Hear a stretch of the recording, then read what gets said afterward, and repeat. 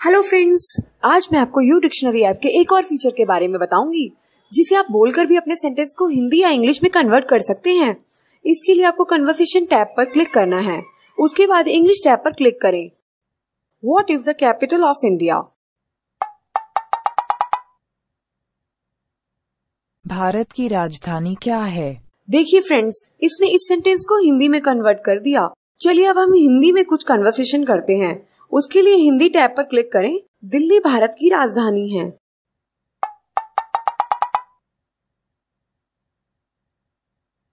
Delhi is the capital of India देखिए friends इसने इस सेंटेंस को इंग्लिश में कन्वर्ट कर दिया है। है ना कमाल का फीचर फ्रेंड्स इसे डाउनलोड करने के लिए डिस्क्रिप्शन में लिंक अवेलेबल है। वहाँ जाइए और जल्दी से डाउनलोड करिए।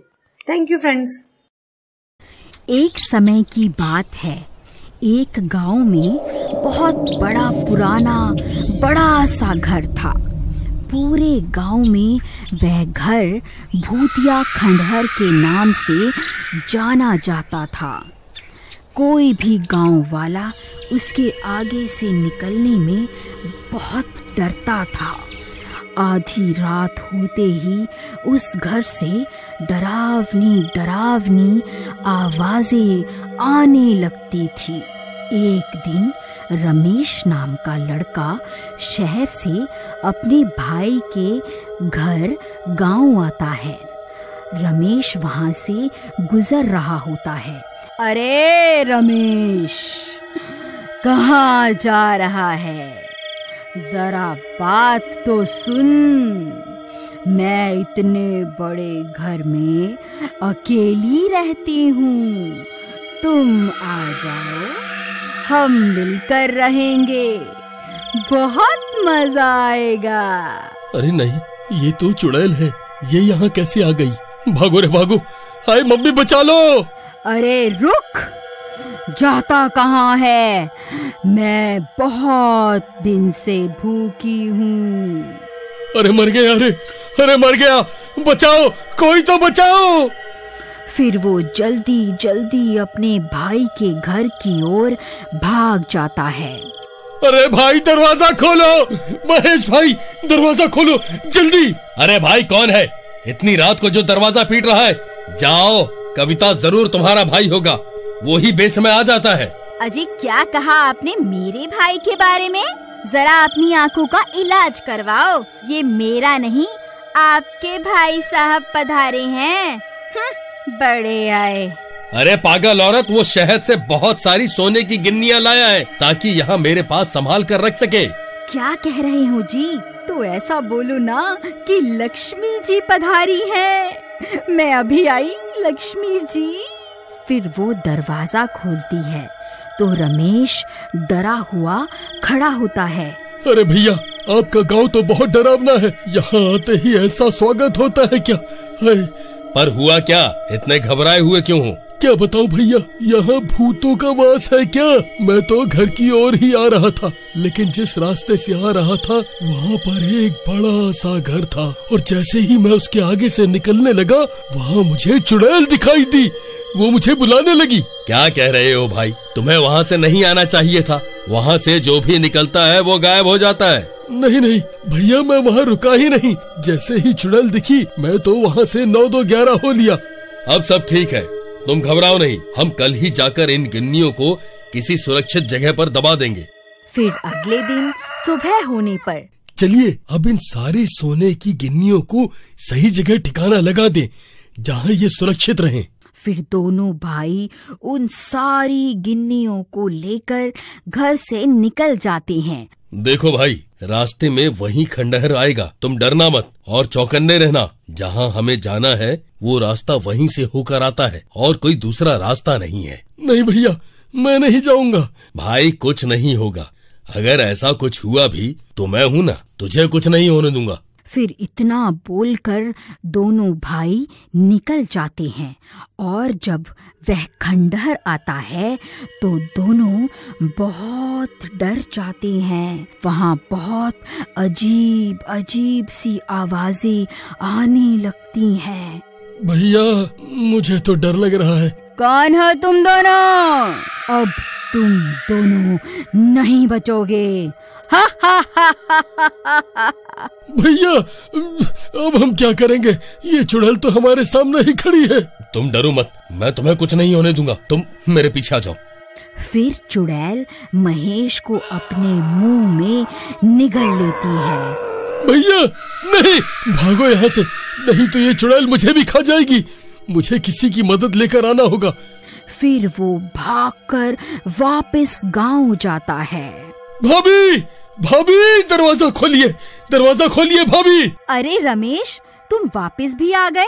तुम्हारे भैया कहाँ हैं? नहीं भाभी बहुत बड़ी गड़बड़ हो गई। वो खंडहर वाली चुड़ैल भैया को साबुत ही निकल गई। क्या? ये तुम क्या कह रहे हो? नहीं ऐसा नहीं हो सकता। भाभी मैं सच कह रहा हूँ, मेरे सामने ही वो चुड़ैल भैया को निकल गई। मैं किसी तरह भाग आया ताकि मदद लेकर आ सकूँ। फिर कविता घर के अंदर जाती है और सोचने लगती है कि अब क्या करें। इतने में रमेश कुछ गाँव वालों को भी इकट्ठा कर लेता है। फिर कविता, रमेश और सब गाँव वाले उसी खंडहर के पास जाते हैं। अरे ओ चुड़ैल बाहर निकल। मेरे पति को खा गई। हिम्मत है तो बाहर निकल। अरे भाभी आपको डर नहीं लगता क्या? देवर जी डर तो लगता है लेकिन अपने पति को बचाने के लिए मुझे अपनी जान की कोई परवाह नहीं है। इतने में चुड़ैल वहाँ आ जाती है। सब गाँव वाले बहुत डर जाते हैं। आई, मम्मी। मचा लो। अभी तो मेरी शादी भी नहीं हुई। अरे, कविता बहन, आपके तो पति के पेट में है। आप भी अंदर चली जाओ। दोनों साथ में खुशी खुशी अंदर रहना, मज़े करना, मैं मरना नहीं चाहता। भाभी जी, नमस्ते। मैं जा रहा हूँ। ये तो बहुत खतरनाक दिखती है। भागो रे, यहाँ से। अपनी जान बचाओ। बेकार में इनके साथ आ गए। डरपोक कहीं का। चल भाग यहाँ से। फिर सब गाँव वाले डर के मारे वहाँ से भाग जाते हैं। अरे रुको डरपोक गाँव वालों कहाँ भाग रहे हो? ए चुड़ैल उन्हें छोड़ इधर देख मैं यहीं खड़ी हूँ। मैं तुझसे नहीं डरती। समझी ना तूने मेरे पति को निगल लिया मैं तुझे नहीं छोड़ूँगी। अरे भाभी ये क्या कर रही हो? आराम से बातचीत करके भी तो मामला निपटाया जा सकता है। तू वही है ना जो कल यहाँ से बचकर भाग गया था। उसे छोड़ पहले मुझे खा के तो दिखा जरा। देवर जी, आप दूर हट जाइए। फिर रमेश एक पेड़ के पीछे छिप जाता है। ए पागल औरत, तुझे भी तेरे पति के ही पास पहुँचा दूँगी। हाँ हाँ तो खाना मुझे। डर क्यों रही है? फिर उस चुड़ैल को बहुत गुस्सा आ जाता है और वो कविता को भी मुँह में डालकर निगल जाती है। कविता भी चुड़ैल के पेट में पहुँच जाती है। अजी आप ठीक तो है ना? अरे कविता तुम यहाँ कैसे आ गई? तुम्हें यहाँ नहीं आना चाहिए था। और कैसी नहीं आती? मेरी लक्ष्मी जी तो आपके ही पास थी ना। हे राम ये क्या कह रही हो? तुम्हें अभी भी गिन्नियों की पड़ी है। तभी कविता अपने पास से हनुमान जी की मूर्ति निकालती है जो उसने छिपाकर अपने पास रखी थी। हे पवन सुत हनुमान हे बजरंग बली हमारी रक्षा करो। मैं आप पर ही विश्वास करके इस चुड़ैल के पेट में आ गई। बस आप ही रक्षा कर सकते हो जय बजरंग बली। हाँ कविता ये तुमने ठीक किया। अब तो इनका ही सहारा है। बजरंग बली की जय हो, पवन सुत हनुमान की जय हो, सियापति रामचंद्र महाराज की जय हो। इतना बोलते ही हनुमान जी की मूर्ति से प्रकाश निकलने लगता है और वह मूर्ति कविता के हाथ से निकलकर बड़ी होने लगती है। अरे, ये मुझे क्या हो रहा है? आह, मर गई रे। मेरे पेट में इतना दर्द क्यों होने लगा? ये दर्द बर्दाश्त नहीं होता। हे भगवान, मुझे माफ़ कर दो। जैसे जैसे मूर्ति बड़ी होने लगती है, वो चुड़ैल भी अपना शरीर बड़ा करती जाती है। फिर हनुमान जी की मूर्ति और बड़ी होने लगती है और वो पेट ही फट जाता है और ऐसे ही उसका अंत हो जाता है और मूर्ति फिर से छोटी होकर कविता के हाथों बोलो महाबली हनुमान की जय बोलो महाबली हनुमान की जय।